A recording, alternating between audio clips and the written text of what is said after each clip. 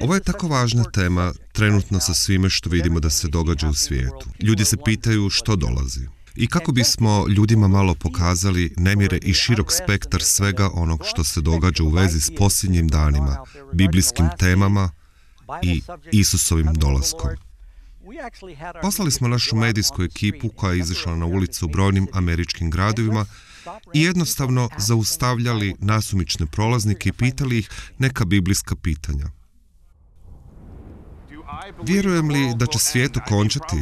Mislim da vjerojatno hoće u jednom trenutku, ali ne uskoro. Sva ova pandemija definitivno pokazuje da biološke bolesti mogu utjecati na naš svijet, ali istovremeno vjerujem i u ekonomske katastrofe koje bi se mogle izroditi iz toga. Moglo bi doći do ogromnih previranja u svijetu. Ali ne znam, ja sam više u teorijama zavjera. Pa mislim da smo blizu, ali nitko ne zna. Mislim da svijet neće završiti skoro, pa radije ne razmišljam o tome. Mislim da će svijet vjerojatno končati ljudi svojim dijelima. Mnogo više ljudi je stradalo od ratova nego od prirodnih nepogoda. Mislim da će to vjerojatnije biti kataklizmični događaj koji će ljudi uzrokovati. Meteorit. Mislim da će to biti uslijed meteorita. Mislim da će svijet uništiti previše zagađenja i mislim da će jednostavno postati odvratno. Mislim da će svijet okončati tako što će se svi ili velika većina ljudi okrenuti protiv Božje riječi i raditi užasne stvari poput onoga što se trenutno događa. Neka prirodna katastrofa ili komentar koji nas pogađa ili zato što je ozonski omotač u potpunosti nestao i onda nas je sunce spržilo.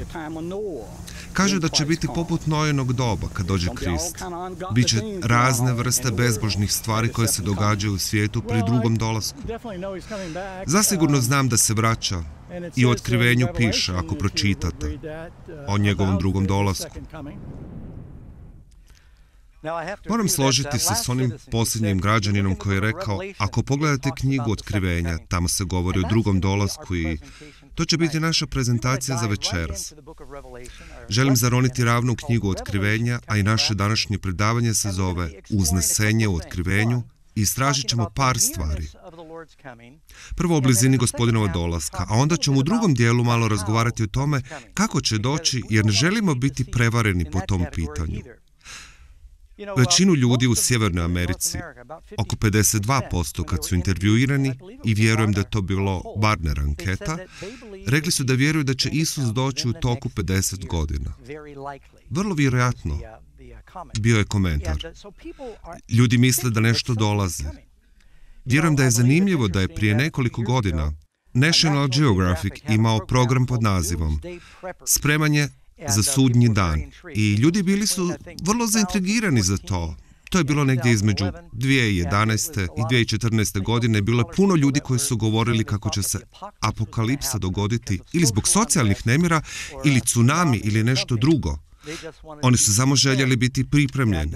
U tome su otišli veoma daleko i mislim da su pojedinci ismijavali ove ljude sa ovakvim suludim mentalitetom. Ali prijatelji, to više nije suludo. Sada su to milijarderi, ljudi koji misle i obrazovani ljudi. Oni koji se pripremaju za nekakvu katastrofu. Ako izađete na srednji zapad, Južna Dakota, postoji jedan poduzetnik koji je dao zakup 575 vladinih bunkera za municiju, a onda ih iznajmljuje po cijeni od 25.000 plus 1000 dolara godišnje. Ali morate ih sami opremiti. Mnogi to i rade. Uzmu te armirano-betonske bunkere i pretvore ih u vrlo udobne apartmane koji su osnovi poput podmornice koja je zapečačena od civilizacije. To je prilično visoka cijena. Ali bilo je nešto još zanimljivije. Vidio sam to u Las Vegasu. Trgovac nekretninama oglašavao je podzemni bunker kuću. 1400 četvornih metara, 18 milijuna dolara i u osnovi su sagradili armirano betonsku špilju pod zemljom, a usred špilje bila je kuća od 400 četvornih metara s umjetnim okolišem, s bazenom, fontanama, umjetnim drvećem a osvjetljenje u šumi mijenjalo bi se od zore do mraka, od noći do jutra da vam pruži osjećaj da ste stvarno vani kad niste jako daleko od centra Las Vegasa dolje u zemlji. Pretpostavljam da ga je netko sagradio jer ima novca jer misli da vam dolazi nešto katastrofično. Znate, tijekom nedavne pandemije, puno milijardera je pobjeglo na Novi Zeland i čuo sam za jednog njujorčanina koji je otišao u svoj bunker za sudnji dan i nije mogao otvoriti vrata pa je morao nazvati proizvođača kako bi saznao kako ući. Jedan broj njih je svojim privatnim avionima odlazilo do Novog Zelanda, do svojih raznih imanja i njihovih skloništa jer su se pitali što će se desiti u svijetu. Jedan drugi poduzetnik kupovao je otpisane silose za rakete od vlade u Kansasu. Znate što je neboder? Neboder naravno ide u zrak. Ovi se nazivaju zemljoderima jer se spuštaju u zemlju 23 kata i grade sve ove različite katove sa stanovima koji se prodaje po 3 miliona dolara imaju stomatološku kliniku, imaju apartmane, bazene, imaju podzemne vrtove i sve što biste mogli pomisliti da trebate kako biste preživjeli u takvoj situaciji. Ali ne znam možete li si to priuštiti, ali neki ljudi sigurno vjeruju da se približavamo kraju vremena jer inače ne bi radili to što rade. Što se to zapravo događa? Kaže li Biblija da Isus ponovo dolazi? Pa središnji fokus ovog seminara bit će bavljenje knjigom otkrivenja i ja ću vas samo odvesti na brzi pregled kroz brojne stihove o otkrivenju da vam pokažem da ćemo naglasiti ono što Isus naglašava. Na primjer, i usput, na ovom seminaru, za moju korist, koliko i vašu, ja nekako koristim sokratsku metodu. Postavim pitanje, a zatim u Bibliji tražim odgovor pomaže nam da naučimo i zapamtimo kad to radimo na takav način. Prvo pitanje, što je jedno od središnjih učenja u knjizi? Otkrivenja. Odgovor, evo, dolazi na oblacima i svako oko će ga vidjeti, čak i oni koji su ga proboli i sva će zemaljska plemena proplakati zbog njega. Amen. To je otkrivenje 1.7. Idemo na otkrivenje 14.14.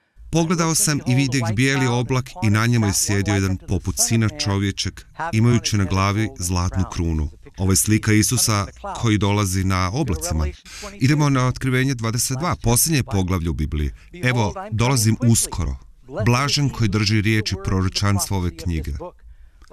Otkrivenje je zanimljiva knjiga jer započinje blagoslovom na one koji čuvaju i čitaju i čuju stvari koje su tamo napisane. Zvršava prokletstvom nad svakim tko se usudi promijeniti bilo što u knjizi. Pogledajmo sad otkrivenje 22.12. Evo, dolazim uskoro. Sa mnom je nagrada koju ću dati svakom čovjeku prema njegovom dijelu. I onda idete na posljednje stihove otkrivenju, otkrivenje 22, 20. One koji svjedoči o ovim stvarima kaže sigurno dolazim brzo. Amen. Dođi gospodine Isuse. Pa kako možemo misliti da dolaza gospodara nije prioritet u Bibliji? Kad vidite ovakav naglasak. I imajte na umu ako pogledate prvo poglavlje otkrivenja. Neke od vaših Biblija će reći otkrivenje svetog Ivana, jer Ivan je imao otkriće, vizije, ali to zapravo nije otkriće Ivana. Prvi stih kaže da je to otkrivenje Isusa. Ovo je bila objava od Isusa. I pogledajte naglasak koji nam daje Isus. Dolazim opet, dolazim opet, dolazim opet. Sada kad je rekao da će doći prvi puta kao naša žrtva, ili došao? Bilo je kasnije nego što bi neki ljudi mislili, ali on je ipak došao. I sad kaže da opet dolazi. Zašto bismo posumnjali da će doći i tako prijatelji? Želimo znati. Dolazi li uskoro? Ne znamo kad dolazi po vas, ali svi trebaju biti spremni. Ali želimo znati nešto o tome kako dolazi kako ne bismo bili prevareni i što je najvažnije, kako možemo biti spremni. Od 404 stiha koje nalazimo u otkrivenju, 278 mogu se naći gotovo od riječi do riječi na drugim mjestima u Bibliji, pa stoga želim da odmah znate da bi razumjeli posljednju knjigu u Bibliji, ovu knjigu proročanstava. Trebate znati nešto i o drugim knjigama u Bibliji, pa ćemo gledati druge popratne knjige poput knjige Daniela u Starom Zavjetu, Jezekijela, Zakarije, čitav niz ovih apokaliptičnih proročanstava i u drugim mjestima u Bibliji. I to je zaista ključno, jer otkrivenje je mozaik različitih knjiga iz Biblije i cijeli plan spasenja i zato mislim da ćete biti zaprepašteni dok sudjelujete u seminaru. Imajte na umu, ovo je prva u nizu prezentacije, bit će ih još jedna. Sutra navečer i uzastopno kroz tjedan tako pratite nas, uživat ćete u ovoj seriji jako puno. Drugo pitanje, što možemo znati o vremenima Isusovog povratka. Ovo osjetljivo pitanje jer čim razgovarate o vremenu Kristovog dolaska, netko je uvijek u iskušenju da kaže hoćeš li postaviti datum? Biblija nas upozorava da to ne činimo. Kaže, za taj dan i sat ne zna nitko. Ovo govori Isus. Čak ni nebeski anđeli, već samo moj otac. Neki su pitali znači li to da Isus ne zna kada dolazi?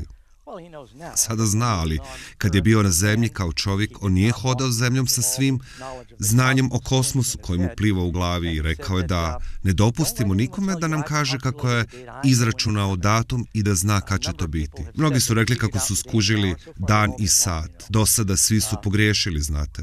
Jedan pojedinac koji je prije nekoliko godina dobio priličnu publiciteta, Harold Camping, jedan od osnivača obiteljskog radija, lijepe radio stanice, ali je započeo određivati precizan datum, 21. svibnja 2011. za drugi dolazak. I mnogi su se ljudi toliko uzbudili zbog toga. Prodali su su svoju imovinu, počeli su davati materijal i upozoravati sve druge i krenuli su prema brdima u svoja sigurna skloništa i onda kad se to ne dogodi, to stvara veliku sumnju u Božju riječ.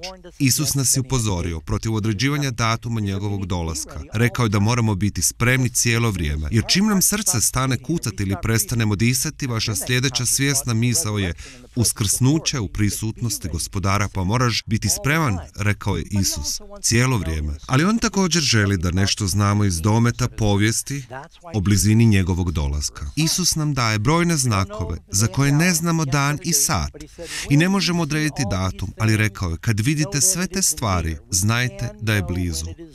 Možemo znati kad je blizu i vjerujem da gospodin želi da to znamo. I po svim znakovima vjerujem da je blizu. Razmotrimo još nešto.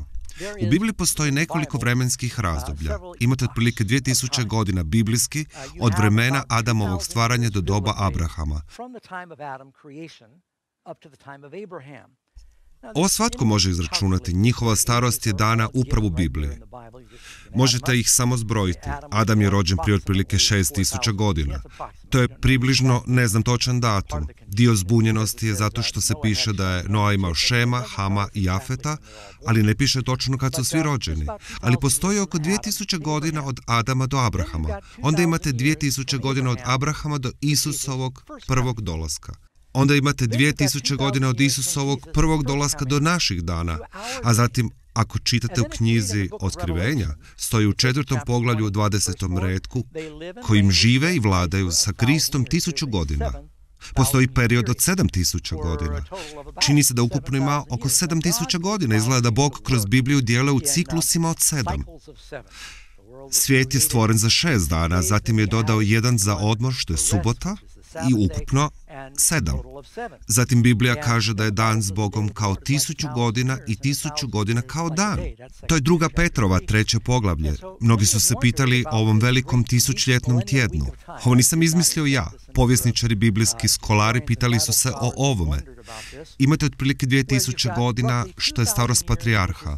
Onda imate Abrahama, on je otac židova 2000 godina. Od Abrahama do Krista. Krista da označava svojim rođenjem i žrtvom početak crkve. Tako da dobivate 2000 godina od vremena Krista do naših dana. Isus je rekao da osim ako se ti dani ne skrate, neće biti spašeno ni jedno tijelo. Zato vidimo kako se stvari ubrzavaju u vremenu i čudimo se. Potom provodimo tisuće godina živeći vladajući s Kristom tijekom tisućljeća, što je poput tisućljetne subote.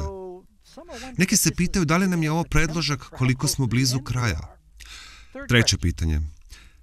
Koji su neki od specifičnih znakova blizine Isusovog povratka? Ok, duboko udahnite, privežite pojas jer ćemo proći kroz više znakova prije nego što prijeđemo na sljedeće pitanje. Ostanite još sa mnom ovdje, sad ćemo pogledati broj. Vjerojatno bi u ovom trenutku bila dobra ideja otvoriti naše Biblije, ako ih imate naravno sa sobom. Slobodno mi se pridružite. Otvorimo Matej 24. poglavlje.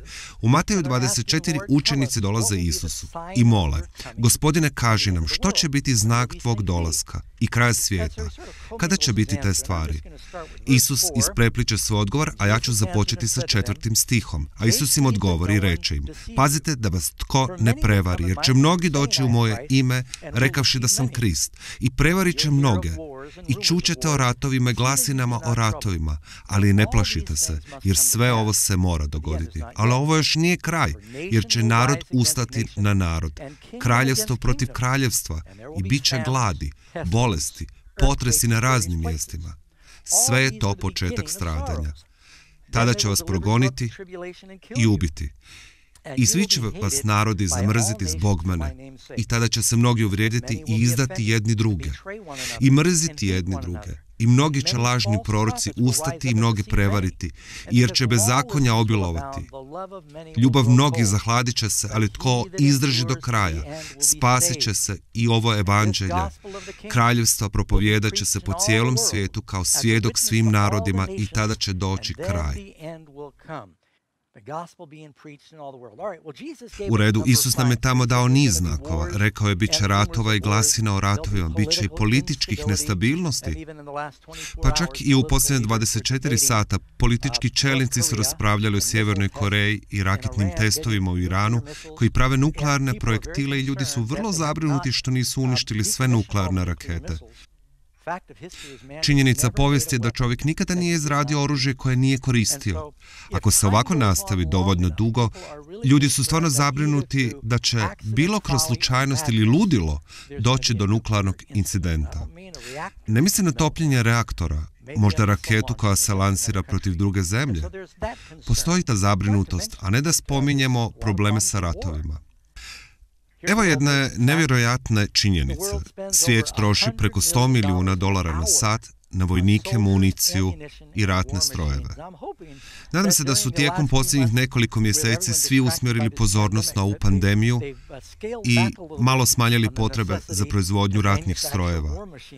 Ali ovo su tipični brojevi. Ljudi toliko ulažu u rat i čini se kao da se uvijek negdje vodi rat. Prošlog stoljeća između Prvog svjetskog rata i Drugog svjetskog rata. Oko 75 milijuna ljudi je umrlo, a preko 100 milijuna ako uključite bolest i glad koje su uslijedile nakon rata. Prirodne katastrofe. Isus je rekao, i upravo smo pročitali, bit će potresi na raznim mjestima i uragani.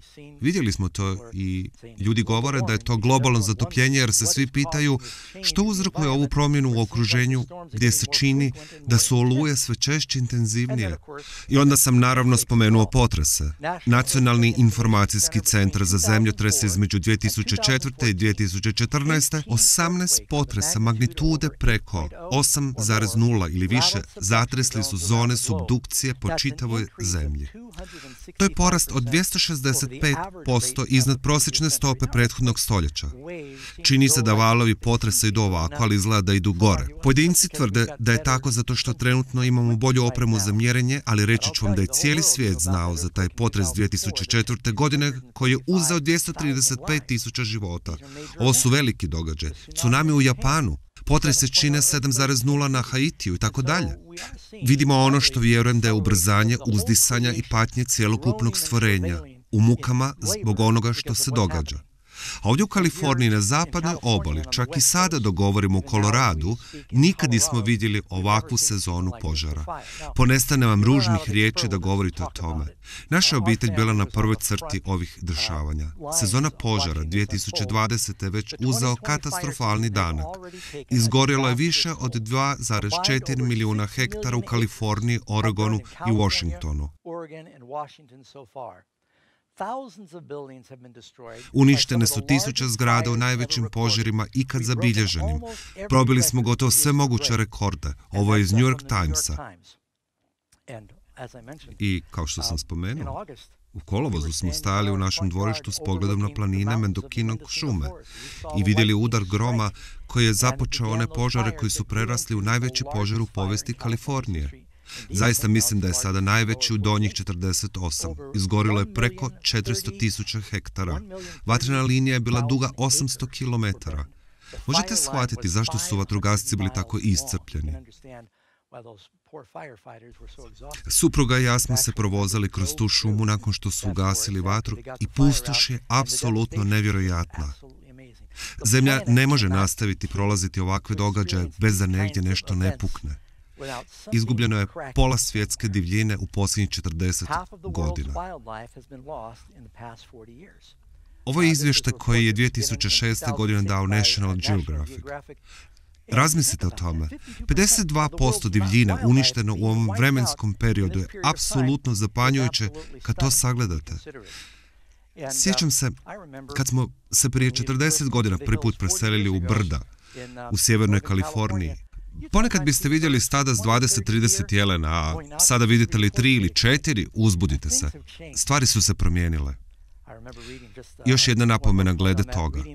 Sjećam se da sam pročitao o tome kako su Lewis i Clark, kad su prešli Sjedinjene države, rekli da moraju pričekati dan i pola za stado bivola da pređu rijeku. Čekali su dan i pol da jedno krdo prijeđe rijeku. Milijuni životinja. Rekli su kako su jednog dana gledali nebo zatamljeno jatima ptica satima. Vidimo da se stvari mijenjaju. Zapamtite ovaj stih u otkrivenju. Otkrivenje 11.18. Narodi su bili bijesni i došao je tvoj gnjev i vrijeme mrtvih da ih treba suditi i uništiti. One koji uništiše zemlju. To je neobično jer kad se u ove riječi napisane, ljudi nisu imali tehnologiju da uništa zemlju. Možete mačem udarati zemlju i baciti koplja na kamen godinama, ali nećete uništiti zemlju. Samo u posljednjih stotinu godina, kad smo prerasli topovske kugle, kemikalije i nuklearno oružje, čovjek sad ima sposobnost da uništi zemlju. I malo pomalo to se događa. I zato je Isus rekao, ako se oni dani ne prekrate, ni jedno tijelo ne bi se spasilo. Isus mora doći uskoro, prijatelji. A zatim, jedno od stvari koje je Krist rekao je i biće bolesti. Ove godine smo vidjeli ne najsmrtonosniju bolest, jer bila je bubonska kuga, pa onda španjolska gripa, koja je bila vrlo smrtonosna, pa onda H1N1, ali ovo je vrlo ozbiljna pošast koju se cijeli svijet trudi spriječiti da spriječe intenzivno širenje. To čak nije više ni širenje. Sada samo pokušavaju, kako kažu, izravnati krivulju, tako da bolnice ne budu potpuno preplavljene njome i da pronađu neki lijek za to. Moramo li se zapitati je li Isus bio u pravu kad je rekao kako će biti pošasti pandemije u posljednje vrijeme? Vidimo kako svakodnevno ispunjava naslovnice. Još jedan znak koji nismo posebno pročitali u Mateju 24, ali Isus kad govori o drugom dolasku kaže kako je bilo bilo u Nojino doba, tako će biti i u dane dolaska sina čovječa. Jedan od onih intervjuiranih na ulici je spomenuo upravo to. Kako je bilo u doba Noe? Biblija nam kaže da je nasilje ispunilo zemlju, da su misli ljudskih srca bile samo zle kontinuirano. Izvještaj o nasilju u gradu Chicago premašio je 500 ubojstava u 2020. premašujući prošlogodišnji ukupan rezultat, a još su četiri mjeseca do kraja godine. Policijska uprava u Chicagu ne samo da je problem sa nasiljem, a vidjeli smo nasilje i u vijestima i u gradovima, a to je vrlo uznemirujuće. Isus je rekao da će biti problem sa nemoralnom u posljednje vrijeme. Ljudi će gubiti prirodne sklonosti i normalne moralne smjernice onoga što je ispravno. Porno kuga.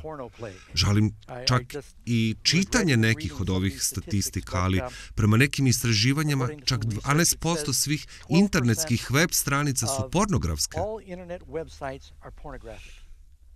35% svih internetskih preuzimanja su pornografskog sadržaja.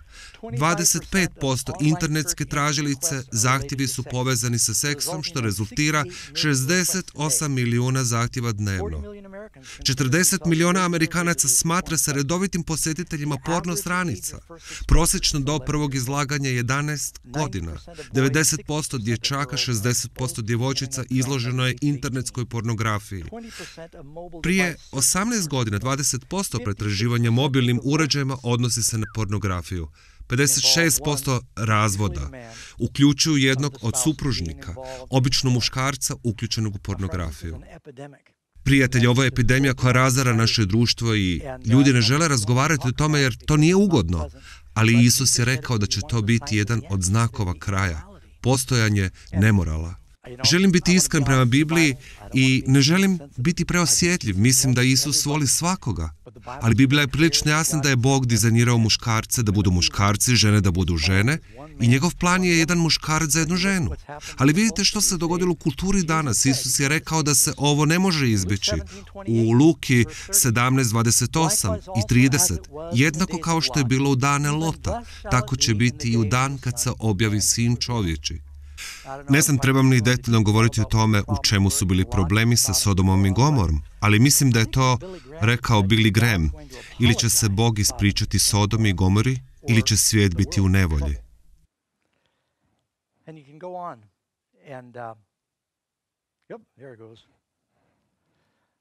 Postoji stih u Judi 1.7.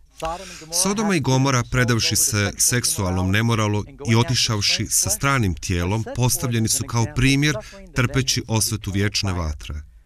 Još nešto za razmotriti kad razmišljamo o vremenu u kojem živimo, a to je prenapučenost. Smatram da je ova nevjerovatna činjenica. Trebalo je otprilike 5000 godina da je svijet dobije prvu milijardu ljudi. Zatim je trebalo samo 130 godina da bi se dobila druga milijarda ljudi. Bilo je potrebno samo 30 godina da dobijemo treću milijardu ljudi, a 15 godina da dobijemo četvrtu milijardu. Sada mi guramo prema 8 milijardi ljudi. Ovaj grafikon mislim da to govori malo nakon 2025. Imaćemo 9 milijardi ljudi, a istovremeno se ne obrađuje obradiva zemlja, već se gubi. Čitao sam da Amerika gubi oko 1,5 hektara obradive zemlje svake minute zbog širenja gradova i drugih problema sa zagađenjem. Pa kad imate toliko velik razbroja ljudi, a mogućnosti proizvodnje hrane opadaju, znate da imate dva vlaka na istom kolosijeku koji idu jedan prema drugom. Nešto mora otkazati. Ovo za mene je bio fascinantan znak. Umnožavanje znanja. Pročitat ćemo ovo, a zatim se vratiti i razmotriti stavku po stavku. Daniel, 12. poglavlje, četvrti stih. To je popratna knjiga o otkrivenju. Ali ti, Daniele, zatvori riječi i zapečati knjigu do kraja vremena. O čemu se ovdje govori? O kraju vremena. Na kraju će mnogi trčati amo tamo i znanje će se umnožiti. Pogledamo prvi dio. Mnogi će trčati amo tamo. Morate to priznati, prijatelji. Generacija u kojoj sad živimo je jet setting generacija. Putujemo danas više nego ikad prije u povijesti čovječanstva. Mislim da ovaj stih također znači da će mnogi trčati amo tamo kroz Božju riječ i oni će doći do spoznaje istine, ali samo površno. Mislim da su trebali mjeseci da se stigne sa istočne obale SAD-a do zapadne obale. Morali su obići Južnu Ameriku i mnogi nisu preživjeli putovanje. A sada razvijaju nadzvučne zrakoplove kako bi zamijenili Concorde. Jednostavno je nevjerojatno kako često i koliko brzo ljudi putuju. National Geographic iz srpnja 2006. Ljudi više putuju daleko od kuće nego ikad prije u ljudskoj povijesti. Ako je to bila istina, onda sad je još više. Znam jednog starca koji živi blizu nas u brdima, koji je odrastao na farmi, koju nikada nije napustio i koji je rekao da nije otišao u grad do svoje sedme godine. Živio je 50 km od oceana, napokon su ga neki susjedi odveli da vidi ocean. Prvi put, kad je imao 70 godina. Mislim da je zapravo živio preko 80 godina rekao je, pa to je puno vode. Nikada vidio nije ocean, nije otišao 50 km da vidi ocean. I znanje će se umnožiti, rekao je Daniel. Prijatelj, je li se znanje umnožilo? I sada, na isti način kao i John Kennedy, koji je izazvao Ameriku da vidimo možemo li doći na mjesec. Naš trenutni predsjednik je izazvao Amerikance da vidi možemo li doći do Marsa. Pogledajte samo ove sve izume koje su u posljednjih sto godina promijenili čovječanstvo. Automobil, avion, radio, TV, pametni telefon, slijetanje na mjesec, slušni aparati, pacemaker. Moj favorit je sušilo za kosu. Ali možete li zamisliti kako dolazite kod apostola Pavla, izvodite telefon i kažete da ćete mu izguglati? Sve što želiš znati i sve znanje čitavog svijeta vam je na dohvat ruke. A djeca odrastaju usto danas. Sjećam se kad ste morali izvidjeti knjigu i pretražiti kroz indeks, da pronađete pravu enciklopediju za pronalaženje malo informacija. I moglo bi vam trebati 20 minuta da pronađete resurse. Znanje je eksplodiralo. Evo jednog od mojih najdražih. Matej 24.14. Evanđelje kraljevstva će se propovijedati po cijelom svijetu za svjedočanstvo narodima. I primijetite što Isus kaže. Tada bi mogao doći kraj. Trebao doći kraj. Možda će doći kraj. Ne, rekao je da će doći, sigurno će doći. To je jasna Isusova izjava. Sad želim ovdje umetnuti malu priču da vam kažem zašto me ovo oduševljava. Amazing Facts putuje po cijelom svijetu i propovjeda evanđelje. Bili smo na svim kontinentima osim na Antarktiku. Prije nekoliko godina, mislim 2017. Karen, ja i naša posada smo bili u Novoj Gvineji i održavajući javna predavanja pošli smo u džunglu vidjeti možemo li napraviti dobre snimke nekih domorodačkih domova. Tako smo se vozili i vidjeli ovu travnatu kolibu i prekrasan vrt i pitali smo preko našeg prevoditelja da li bi smetalo vlasniku da napravimo nekoliko fotografija. On ih je pitao i ovi su rekli da je to u redu. Izašli smo iz auta i došli do njih i gospođa koja se vidi u sredini se prenerazila. Zinula je u čudu, a oči su joj postale velike. Ja sam mislio da se iza mene nalazi duh. Nisam znao što se dogodilo. Onda je ona počela vrlo uzbrđeno brbljati prevoditelju koji mi je rekao da godinama gleda tvoje programe na televiziji. Nije ni slutila da ćeš se pojaviti u njezinom dvorištu i bila je veoma uzbuđena. Toplo smo je zagrlili, slikali se i zajedno pomolili sa obitelji. Potom smo otišli na naše sastanke bili smo zapanjeni jer smo imali 150 tisuća ljudi koji su došli na glavni dio bogoslužja. Tijekom tog vikenda i svi oni koji su gledali programe. Nevjerovatno je dok putujemo svijetom i odemo u Afriku, gdje ljudi nemaju dom za život, ali imaju pametni telefon. Nemaju svi pametne telefone, ali dobivaju telefone i šalju poruke i oni slušaju Whatsapp propovjedi i oni proučavaju Bibliju s ljudima i evanđelje ide po cijelom svijetu. Bili smo na Bliskom istoku gdje ljudi žive u šatorima, ali imaju antene koje viraju šatora, a koze ulaze i izlaze iz šatora, ali imaju satelitske antene. Vidjeli smo širom Indije kako ljudi žive pod ceradama, ali imaju satelitske antene. Tako je evanđelje putem moderne tehnologije poput ovoga što se upravo sada dešava ide u svijet. Što je Isus rekao? Onda će doći kraj, u redu. Rekao sam da će malo potrajati. Prije nego što dođem do pitanja broj pet. Razgovarat ćemo sada ne samo o blizini Isusova dolaska, već o tome kako će on doći. Postoji popularna serija knjiga pod nazivom Ostavljeni koju je napisao Tim LaHaye. Dobar čovjek. Ali Moram se s poštovanjem ne složiti s njegovim scenarijem o tome kako prikazuje događaje povezane s drugim dolaskom. To je jedno novo učenje. U osnovi postoje tri različita osnovna gledišta na proročanstva. Imate ono što oni nazivaju futurizam, preterizam i historicizam. Svi stari reformatori vjerovali su da će dolazak gospodina biti vrlo doslovan, a progon bi se dogodio prije Isusovog dolaska, a u scenariju ostavljenih prvo imate uznesenje, a potom progon. Postoji i manja skupina koja se zove međuprogon, kod kojih se uznesenja dešava usred progona. Vjerujem da su svi oni dobri kršćani, želim biti jasan u tome, ali želio bih podijeliti s vama iz Biblije zašto vjerujemo da se progon događa prije uznesenja. To je važno znati. Ako sam u krivu kad dođem u nebo, ispričat ću se svima, ali ako sam u pravu, mnogi će biti iznenađeni jer misle da ćemo uzneseni prije nego što okolnosti postanu teške i nisu se spremali izdržati do kraja kako bi mogli biti spašeni. Provjerimo za tu Bibliji. Prije svega ne vjerujemo da je uznesenje tajno. Vjerojatno ste već čuli o tome kada ljudi šete ulicom, a vi razgovarate s nekim i oni su spašeni, a vi niste i u momentu oni nestaju. Odjeća im je na zemlji, automobili izlječu s ceste i zrakoplov pada s neba jer je pilot bio kršćanin, a možda i kopilot nestane. I nema više nikoga u zaključenoj pilotskoj kabini. Ne vjerujem da nam Biblija govori o drugom dolasku kao tihom ili tajnom. Zapazite, hoće li Isus doći tiho? Prva Solunjanima 4.16. Jer će sam gospodin sići s neba sa jakom vikom, sa glasom arkanđela i trubom Božjom. Vika, glas, truba, to zvuči bučno. Jeremija 25.30.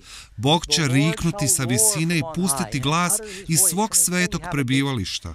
Snažno će zaurlati nad svojim prebivalištem. Viknuće u psalmu 53. Doći će naš Bog i neće biti tih i bit će vrlo burno oko njega. Govori njegovom dolasku s olujom, ali neki će reći kako je to nakon tajnog uznesenja. Samo gledajte, prijatelji, pa ćete i sami vidjeti, jer Isus je rekao govoreći o svom povratku, jer kao što munja dolazi s istoka i bljesne prema zapadu, tako će biti i dolazak Sina čovječe. Bio sam u olujama s munjama, gdje pogotovo ako ste vani u ravnici, gdje nema planine koja zaklanja horizont, Imaju te masivne oluje koje se samo prostiru nebom i možeš zatvoriti oči, ali još uvijek vidiš kako bljesne i možeš prekriti oči, ali dalje vidiš kako bljesne. Jednom sam stavio glavu pod jastuk i mogao sam osjetiti kad je grom bljesno, jer tada čujete grmljevinu četiri ili pet sekundi kasnije. To je bilo najjače svjetlo koje su imali. Rekao je da će biti svjetlo i da će biti glasno. Dan gospodinov doći će kao lopov u noći. I netko će odmah reći, vidiš Dag, Isus će doći tiho poput lopova. Pročitajte cijeli stih i recite mi ako mislite da on dolazi kao lopov i odlazi potpuno tiho i da život ide dalje još sedam godina nakon što on dođe poput lopova. Pogledajmo drugu Petrovu, treće poglavlje, deseti stih. Dan gospodinov doći će kao lopov u noći u kojem će nebesa proći s velikim. Što? Velikom bukom i materija će izgoriti u jakoj vatri. I zemlja i dijela koja su na njoj izgorjeće. Zvuči ovo kao da se život na zemlji nastavlja kad Isus dođe poput lopova? Ne. Morate biti spremni prije nego što Isus dođe poput lopova. Zašto koristi taj izraz dolaska poput lopova? Ne volim previše govoriti prve večere, ali nisam uvijek bio kršćanin. I između ostalog, ja sam bio lopov, provaljivao sam u kuće i krao stvari. Krao sam automobila i kad sam dolazio, nikada se nisam najavljivao govoreći da dolazim. Cilj je bio doći potojno kad to nisu očekivali. To je ono što Isus govori, da će to biti neočekivano. Krist je rekao, u onaj času koji ne očekujete, sin čovječi će doći. Sjećam se kad smo održavali ovakav seminar u New York City u 1999. neposredno prije 2000. godine. Svi su imali tisućgodišnjicu groznicu i rekli su da Isus dolazi uskoro. Rekao sam da neće. Svi su se čudili kako mogu reći tako što. Pa zato što svi misle da on dolazi. A on je rekao da dolazi kad ga ne očekujemo bar u tom predviđanju pogodio. Peto pitanje. Koji će drugi znakovi pratiti Isusov povratak? I bio je veliki potres. Kakav? Nije bio otkad su ljudi na zemlji, tako snažan potres i tako velik. Ovo je potres u kojem se kaže da su se planine pomakle s mjesta. Ovo nije kao šest ili sedam po Richteru, to je kao 25 po Richteru. Tko će vidjeti Isusa kad se vrati? Nestane li iznenada i to? Nitko ne vidi. Pročitajmo Matej 24.30. A zatim će se pojaviti znak Sina čovječeg u nebu i tada će sva zemaljska plemena proplakati i vidjet će kako dolazi Sin čovječi na nebeskim oblacima s moći i velikom slavom. Također možemo pročitati u otkrivenju 1.7. Evo dolazi na oblacima i svako oko će ga vidjeti. Dalje. Dijela 1.9. Vratit će se onako kako je otišao. Zapravo, Volio bih da tamo otvorimo ako imate svoje Biblije. Imam puno stihova na ekranu, ali neke od njih ćemo ovako pročitati. Dijela 1.9. Kada je izgovorio ove riječi, Isus je dao posljednji blagoslov i nalog. On se uspinje na nebo dok su oni gledali kako je uzet i kako ga oblak odnosi izvan njihovog pogleda i dok su još gledali prema nebu dok je išao gore, pokraj njih su stala dva čovjeka u bijeloj odjeći koji rekoše Ljudi Galilejci, zašto stojite ovdje gledajući u nebesa? Taj isti Isus koji uzet od vas u nebo će tako doći na isti način, kao što ste ga vidjeli kako odlazi u nebo. Jeste li ga vidjeli kako odlazi? Jesu. Jesu li ga mogli čuti kad im je govorio? Jesu. Je li bio stvaran? Jes. Otišao je na oblacima? Je. Doći će na oblacima. Čućemo ga kako dolazi. Biće stvaran kad se vrati. To neće biti fantom. To neće biti nešto o čem ćete sljedeći dan čitati u novinama. Kad Isus dođe, cijeli će svijet znati za to. Broj sedam. Tko će biti s Isusom kad se vrati na oblacima? To možete pročitati u Mateju 25.31. Kada sin čovječi dođe u svoje slavi sa svim svetim anđelima, Želim pozdraviti našu studijsku publiku. Imamo više osoba sigurno razmišljenih, samo da znate. Trebala mi je vizualna potpora, stvarni ljudi dok propovjedam. Kaže da će doći sa svim anđelima. Koliko će to biti dojmljivo? Nekoliko primjera. Biblija nam govori da se u jednom trenutku kada su vojska Judeje i Jeruzalem bili opkoljeni. Ezekija molio je i jedan je anđeo izašao u borbu protiv asirske vojske i pobio je 185 tisuća vojnika neprijateljske vojske. Jedan anđeo. Kad Isus uskrsnuo odred rimskih vojnika koji je čuvao grob i došao jedan anđeo i od slave tog jednog anđela oni pali kao da su mrtvi od slave tog anđela. Kako li će biti kad Isus dođe sa svim anđelima? Koliko anđela ima? Ako svi imaju anđele čuvare, a na svijetu ima gotovo 8 milijardi ljudi, a možda postoje i anđeli pisari. I recimo Isus ima nekoliko rezervnih anđela. Tu su milijarde anđela. Možete li zamisliti slavu onoga što će biti kad Isus dođe s milijardama anđela i piše da dolazi u slavu Oca s desne strane moći? To je rekao velikom svećeniku na suđenju. Da li će netko trebati da vas obavijesti kako je Isus upravo došao? Svi će znati kada Isus dođe. To je najmoćniji vizualni događaj u Bibliji. Što će svjetlost Isusova dolaska učiniti zlim osobama? Možemo pročitati u drugoj Solunjanima 1.7. Tada će se gospodin Isus objaviti s neba sa svojim moćnim anđelima, u plamenoj vatri osvećujući se onima koji ne znaju Boga. A onda će se pokazati bezakonik kojeg će gospodin uništiti dahom svojih usta i uništiti sjajem svog dolaska. Kad on dođe, taj će sjaj uništiti zle i naravno antikrista. Što će se dogoditi s pravednicima koji su mrtvi pri Isusovom dolasku? Idemo korak po korak. Mislim da je ovo vrlo moćan stih. Čitamo u prvoj Solunjanima 4.16. Mrtvi u Kristu će uskrsnuti prvi. Piše da će sam gospodin sići s neba svikom, glasom arhanđela, trubom Božjom i mrtvi u Kristu će uskrsnuti. Događa se uskrsnuće. To nisu svi mrtvi. Prvo umrli u Kristu ustaju. Čitamo pitanje broj 10. U ovom trenutku što se događa sa živima i uskrslim svetima? Kad Isus dođe, piše da će mrtvi uskrsnuti neraspadljivi, a mi ćemo se preobraziti. Dakle, mrtvi u Kristu uskrsavaju, uzlaze na susret s gospodinom u zraku, usput. Ovo je uznesenje. Riječ uznesenje znači biti zahvaćen slavom i snagom gospodina. I kaže da su oni podignuti i onda i mi da ih sretnemo u zraku. Piše da ćemo se preobraziti, oni su uskrsli u tijelima slave, a mi se preobražavamo u trenuću oka, prelazimo iz smrtnog u besmrtno, od raspadljivog u neraspadljivo. Jer ovo raspadljivo se mora obući u neraspadljivo, ovo smrtno u besmrtno.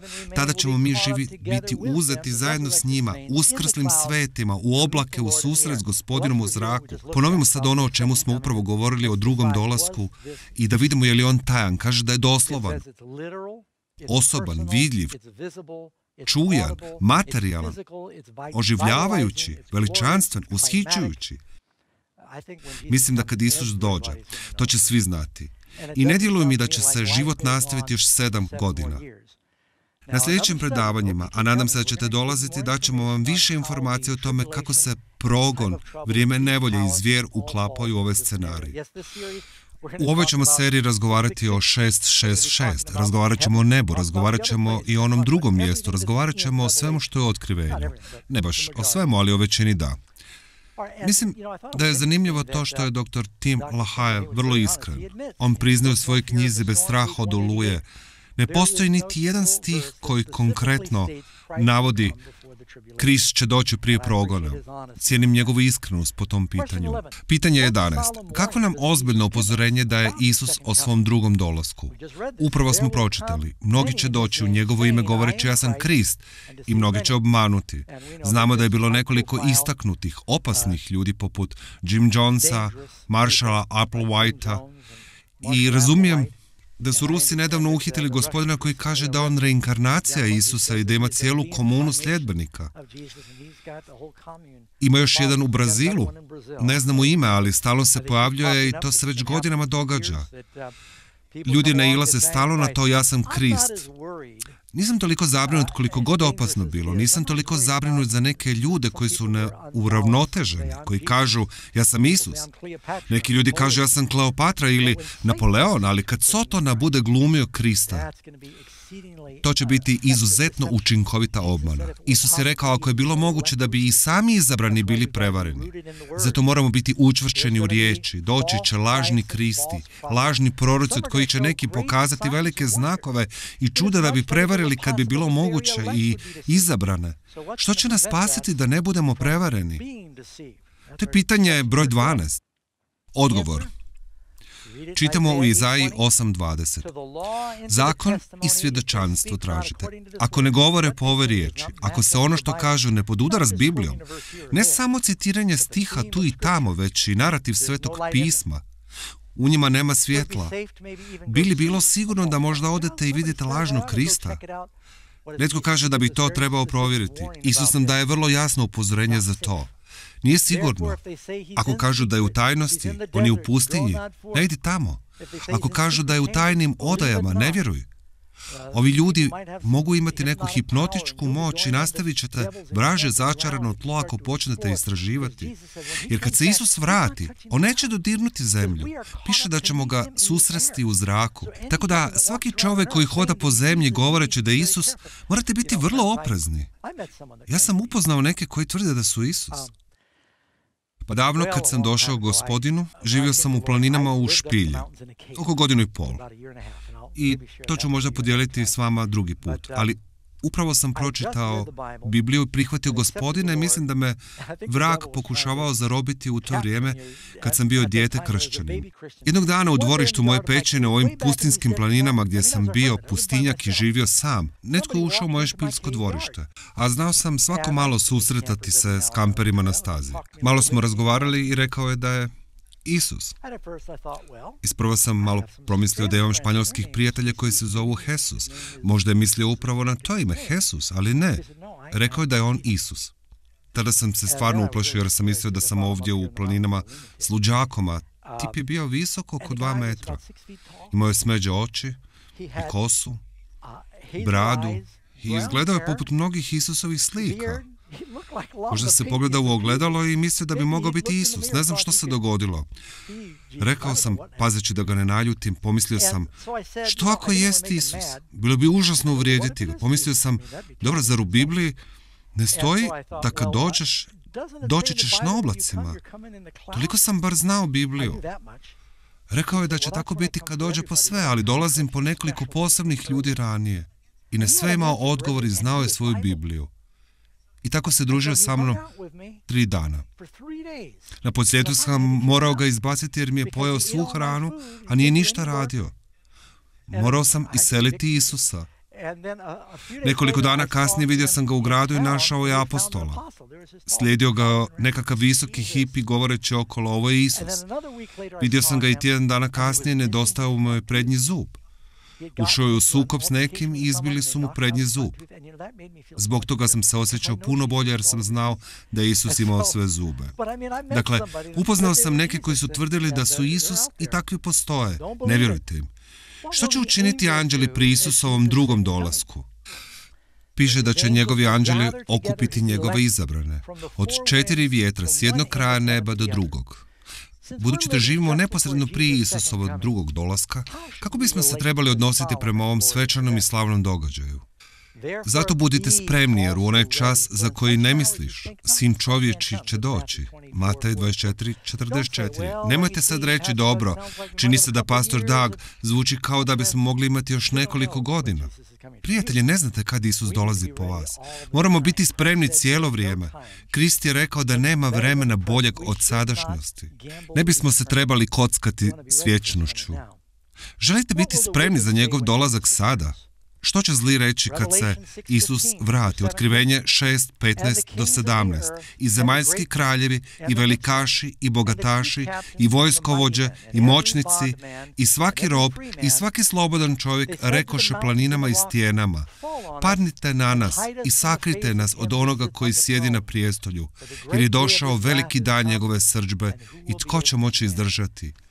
Zli će biti preneraženi, sva zemaljska plemena će tugovati, Biblija kaže da govoreći o izgubljenima želite biti dijelom Isusova plemena kada se vrati. Ne sa zemaljskim plemenima. Sljedeće pitanje. Što će pravednici reći kad se pojavi Isus? To je naš Bog. Mi smo ga čekali. On će nas spasiti, obradovat ćemo se i radovati njegovu spasenju. Postoje samo dvije vrste ljudi kad se Isus vrati. Nema treća opcija. Nema švicarske u ovom ratu između dobra i zla. Ne postoji neutralni teritorij. Krist je rekao, ako niste sa mnom, protiv mene ste. Ako po sunčanom danu okrenete tamni kamen, ispod ćete vidjeti ove bubice koje bježe od svjetlosti poput žohara koji kad uđete u kuću i upalite svjetlo, oni svi bježe od svjetla. Ali ako ste u mraku i upalite svjetlo u šumi gore, u mraku svi noćni leptiri će doći k svjetlosti. To je tako jednostavno, prijatelji. Kad Isus dođe, postojaće samo žohari i leptiri. Vi morate odlučiti što želite biti, jer će postojati samo dvije kategorije. Jedni će doći Isusu i reći, ovo je naš gospodin. Oni gledaju na njegov povratak kao blaženi nadu, dok će drugi bježati od njegove prisutnosti. Tema o drugom dolasku je nešto o čemu bismo trebali razgovarati i radovati se. Pogledajte ove stihove vrlo brzo, skoro smo gotovi. Prva Korinčanima 1.7. Tako da ne oskudjevate ni jednom milosti dok čekate objavljenje našeg gospodina Isusa Krista. Titu 2.13. Tražeći blaženu nadu i slavno pojavljivanje našeg velikog Boga i spasitelja Isusa Krista. Radujući se blagoslovljena nada, slavni spasitelj. Koja je glavna svrha Isusova drugog dolaska? Dolaze li kako bi se razračunao sa zlima? Slušajte što on govori. Da ću doći opet i primiti vas k sebi da biste mogli biti tamo gdje sam ja. Krist je rekao da će doći ponovno jer nas voli, želi da bude s nama, želi nas spasiti od ovog svijeta koji se urušava sam u sebe i mislim da vidimo da smo na pragu, na vrhuncu smo nekih vrlo strašnih događaja što se trenutno događaju u svijetu. Svi ljudi na svijetu, bez obzira koja je vaša država ili koja je vaša politička stranka, mogu vam reći političari nemaju prave flastere da poprave ono što se sada događa na našem planetu. Problem je grijeh. A jedini odgovor za grijeh je Isus spasitelj. I morate započeti tako što ćete ga pozvati u svoje srce. Središnje učenje otkrivenja je Isus. To je otkrivenje Krista i to će biti središnja tema naše serije. Govorit ćemo o važnosti osobnog odnosa s Isusom. Jer ako znate što je žig zvijeri i znate što je 666 i razumijete Armagedon i sve ove misterije, ali ne znate Isusa, to vam neće pomoći. Dogodit će se kroz osobni ljubavni odnos s njim. Kako mogu biti siguran da sam spreman kad se Krist vrati? To je ono o čemu i govorim. Isus je rekao, onog koji mi dođe neću odbaciti. Kako možeš biti siguran? Moraš doći Isusu. Opet kaže, svima koji su ga prihvatili dao je moć da postanu sinovi Boži. Ako mu dođeš, i ako ga primiš u svoje srce, imat ćeš tu moć. Čitao sam kako je Dwight Moody, poznati evanđelist, veliki boži čovjek, vrlo moćan evanđelist, održavajući sastanak u prepunoj dvorani u Čikagu 1871. godine i na kraju sastanka govorio o Isusu i planu spasenja i rekao je želim da odete kući i ovog tjedna i razmislite o onome što sam rekao. A sljedeći ću tjedan razgovarati s vama o donošenju odluke u vezi ove informacije. Te večeri, prije nego što je završio s njegovom završnom molitvom u daljini, začeli su zveket zvona i čuli su ljude kako viču. Otpustio je tisuće iz svoje publike to je bilo izbijanje te noći velikog čikaškog požara. Pet četvornih kilometara grada bilo je uništeno. Tisuće ljudi umrlo je u tom požaru i drugim požarima u okolini. Moody je rekao da mu je to jedno od velikih grešaka u životu. Da je rekao ljudima da čekaju tjedan dana da odluče što će učiniti s Isusom. To ga je mučilo do kraja života. Od tada pa do kraja svog života. Kad god je propovijedao, uvijek je govorio, želim da donesete odluku Isusu. I ne želim završiti ovo predavanje bez traženja da odlučite. Ne brinite kako ćete postati kršćani. Dođite gospodinu takvi kakvi jeste i on će vas usposobiti da mu služite. Nemojte reći, ne znam kako živjeti svetim životom. Kad se popravim, onda ću doći Isusu. Isusu dolaziš kad čuješ kako ti govori sveti duh, a to bi značilo sada, jer kad mu dođete onda, on promijeni vaše srce.